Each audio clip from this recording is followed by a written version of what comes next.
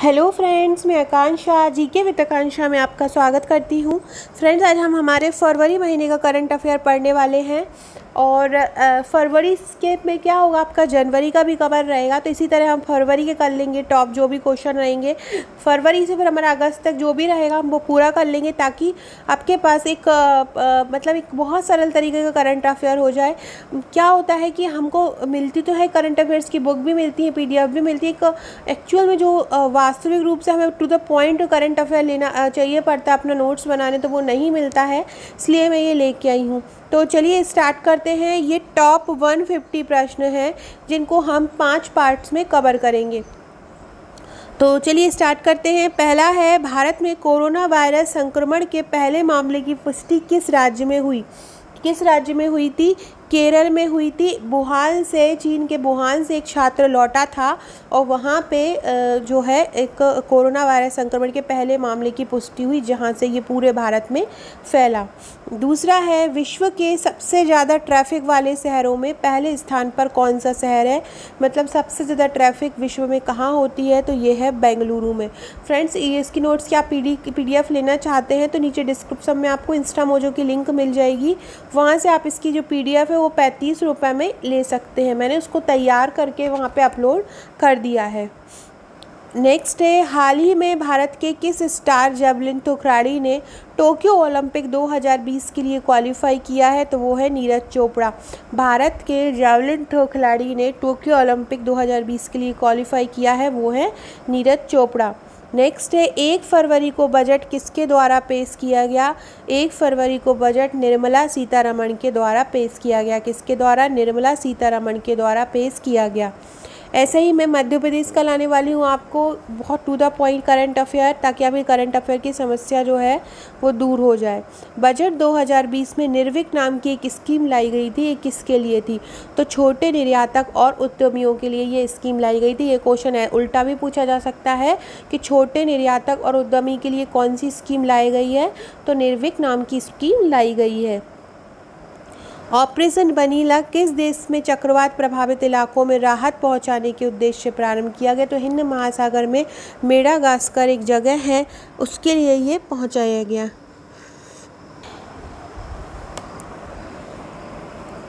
तो ऑपरेशन बनीला, किस देश में चक्रवात प्रभावित इलाकों में राहत पहुँचाने के उद्देश्य से आरंभ हुआ?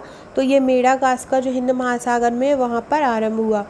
भारत और बांग्लादेश के देश के बीच सेतु सैन्य अभ्यास संप्रीति 2020 का संचालन कहाँ किया जाएगा? तो जो संप्रीति 2020 का संचालन है, वो मेघालय में किया जाएगा।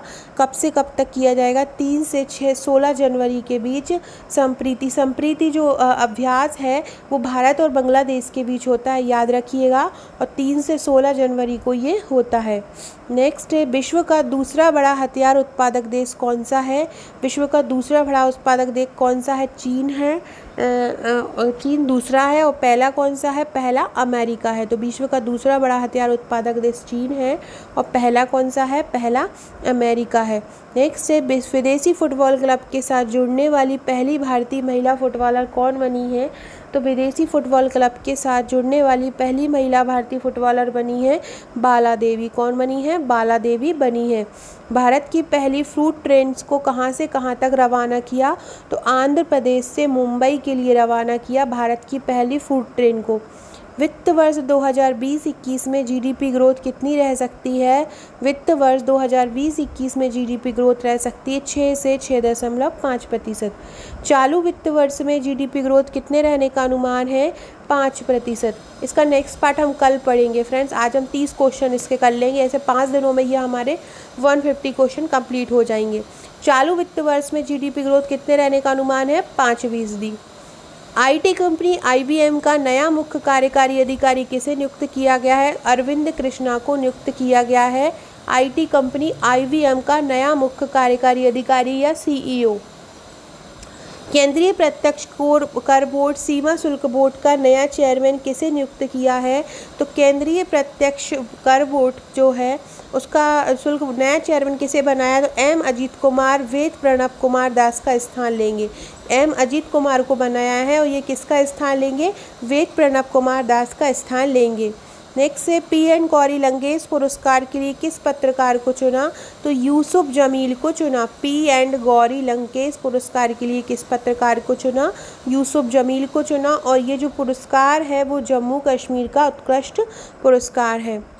पत्रकारिता पुरस्कार नेक्स्ट है। वित्त मंत्री निर्मला सीतारमण ने 2024 तक देश में कितने नए एयरपोर्ट बनाने की घोषणा की है? तो वित्त मंत्री जो निर्मला सीतारमण है, वो 2024 तक 100 एयरपोर्ट बनाएँगी। नेक्स्ट है, केंद्रीय मंत्रिमंडल द्वारा अनुमोदित वर्धमान बंदरगाह को किस राज्य में स्थापित किया जाना प्रस्तावित है? तो महाराष्ट्र में जो वर्धमान बंदरगाह है, वो कहाँ स्थापित होगा? महाराष्ट्र में स्थापित होगा। नेक्स्ट है बेसल कन्वेंशन का संबंध किससे है? तो प्लास्टिक के अपशिष्टों से है। बेसल कन्वेंशन का संबंध किससे है? प्लास्टिक के अपशिष्ट से है। महिला राष्ट्रीय भारत तोलन चैंपियनशिप 2020 में स्वर्ण पदक विजेता कौन महिला खिलाड़ी रही है? महिला राष्ट्रीय भारत तोलन चैंपियनशिप में। तो ये रही हैं राखी हल्दर। राखी हल्दर जो है, महिला राष्ट्रीय भारत तोलन चैंपियनशिप में विजेता रही हैं राखी हल्दर।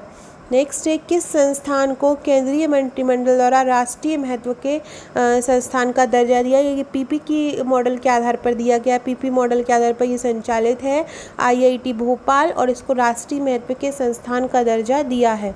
संघाई जो पर्यटन महोत्सव का आयोजन हुआ था, वो कहाँ हुआ था? तो संघाई पर्यटन महोत्सव जो है, वो आयोजित हुआ था मणिपुर में। कहाँ आयोजित हुआ था? मणिपुर में हुआ था। नेक्स्ट है, मुंबई नेचुरल हिस्ट्री सोसाइटी द्वारा चिल्का झील पर स्थापित पहला क्षेत्रीय केंद्र कौन सा है? तो मुंबई नेचुरल हिस्ट्री सोसाइटी द्वारा चिल्का झील पर एक क्षेत्रीय केंद्र स्थापित किया है, जिसका नाम है वैधशाला। क्या नाम है? इसका वैधशाला नाम है। नेक्स्ट है डिजिटल भुगतान सूचकांक बनाने की घोषणा किसके द्वारा की गई है? आरबीआई के द्वारा। डिजिटल भुगतान सूचकांक बनाने की घोषणा किसके द्वारा की गई है? आरबीआई के द्वारा डिजिटल भुगतान सूचकांक बनाने की घोषणा की गई है। नेक्स्ट है, दक्षिण अफ्रीका के माउंट अकाकागुआ, जो सबसे ऊँची चोटी है, चढ़ने वाले सबसे कम उम्र के पर्वतारोही कौन बने हैं अभी हाल ही में? तो बने हैं कामा कार्तिकेयन। कामा कार्तिकेयन याद रखिएगा। कार्तिकेयन जो है, दक्षिण अमेरिका के माउंट अकाकागुआ, जो सबसे ऊँची चोटी, उस पर चढ़ने वाले सबसे कम उम्र के पर्वतारोही बने हैं। नेक्स्ट है, भारत द्वारा किस देश के सहयोग से संयुक्त सैन्य सम्यान अजय योद्धा का आरंभ किया गया? अजय वैरियर का नाम सुना होगा आपने, वही है ये। तो किसके द्वारा आरंभ किया गया? ब्रिटेन के द्वारा आरंभ किया गया। उसे ब्रिटेन के द्वारा अजय वैरियर अजय योद्धा आयोजन आरंभ किया गया। भारत में स्वदेशी रूप से विकसित सबसे हल्की और सबसे सस्ती बुलेट प्रूफ जैकेट का नाम क्या है? तो भारत ने स्वदेश में निर्मित की है, सबसे हल्की है और सबसे सस्ती है, इस जैकेट का नाम क्या है? इस जैकेट का नाम है भावा कवच। नेक्स्ट है, वह राज्य सरकार जिसने भूजल सुधार के लिए भूजल अधिनियम को स्वीकृति दी। तो ऐसा कौन सा राज्य है जिसने भूजल मतलब धरती के अंदर जो जल होता है, उसके सुधार के लिए भूजल अधिनियम बनाया? तो वो है उत्तर प्रदेश। नेक्स्ट है, देश का पहला राष्ट्रीय जैविक खाद्य महोत्सव का आयोजन कहाँ किया गया? तो देश का पहला राष्ट्रीय जैविक खाद्य महोत्सव का आयोजन नई दिल्ली में किया गया। अजय वॉरियर नामक युद्धावाजी देखो अजय वॉरियर वही है युद्ध ये योद्धा वाला तो ये इस तरह से भी बदल के आ सकता है, और यूके मतलब ब्रिटेन तो अजय वॉरियर नामक युद्ध अभ्यास भारत किस देश के साथ मिलकर करेगा? तो यूके के साथ करेगा, और इसमें करीब 120 सैनिक हिस्सा लेंगे तो अजय वॉरियर नामक युद्धाभ्यास का भारत किस देश के साथ करेगा? यूके के साथ, और इसमें लगभग 120 सैनिक जो है हिस्सा लेंगे। पहले सेफ्टी टैंक पहला सेफ्टी किस टैग कंपनी की इंटरनेट सुरक्षा पहल है? तो किसकी है ये? गूगल की है। पहला सेफ्टी टेक कंपनी किस इंटरनेट सुरक्षा पहल है को किसने इसकी पहल की है? तो ये है गूगल की। फ्रेंड अभी हमारे थर्टी फ़र्स्ट से जो क्वेश्चन है, वो हम नेक्स्ट वीडियो में पढ़ेंगे। तब तक के लिए आप चैनल को सब्सक्राइब ज़रूर कीजिएगा।